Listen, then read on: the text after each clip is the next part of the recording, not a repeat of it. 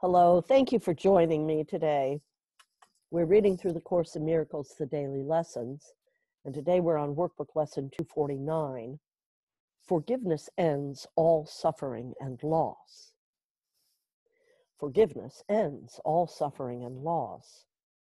Forgiveness paints a picture of a world where suffering is over, loss becomes impossible, and anger makes no sense. Attack is gone, and madness has an end. What suffering is now conceivable? What loss can be sustained? The world becomes a place of joy, abundance, clarity, and endless giving. It is now so like to heaven that it quickly is transformed into the light that it reflects. And so the journey which the Son of God begun has ended in the light from which it came, from which he came. Father, we would return our minds to you. We have betrayed them, held them in a vice of bitterness, and frightened them with thoughts of violence and death. Now would we rest again in you as you created us. I'll read it again. Forgiveness ends all suffering and loss. Forgiveness ends all suffering and loss. Forgiveness paints a picture of a world where suffering is over, loss becomes impossible, and anger makes no sense. Attack is gone, and madness has an end. What suffering is now conceivable? What loss can be sustained? The world becomes a place of joy, abundance, charity, and endless giving. It is now so like to heaven that it quickly is transformed into the light that it reflects. And so the journey which Son of God began has ended in the light from which he came.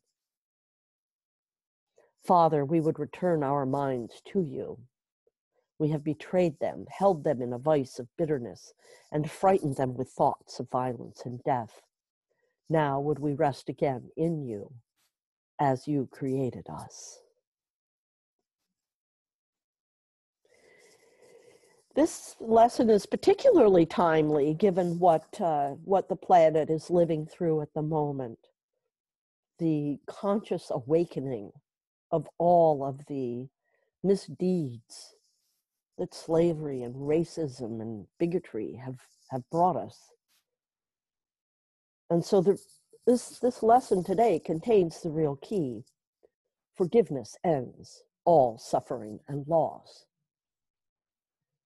And that's what we find ourselves in, I believe, is a path to forgiveness, a path to forgive our histories and reconcile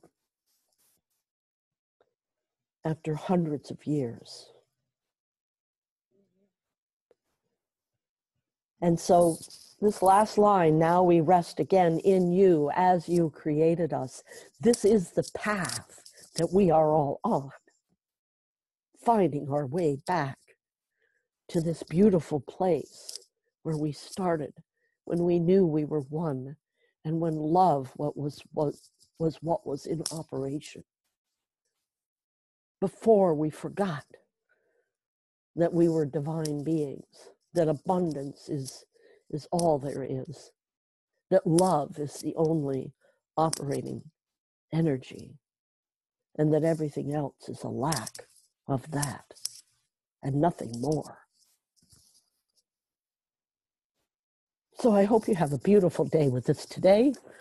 I'm filled with hope for our futures together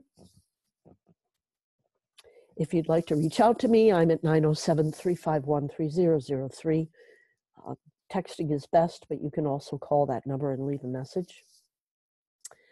And uh, you can message me on Facebook or on YouTube or on my website, lyndalamp.com or at lyndalamp.shop. Thank you again. Namaste and much love.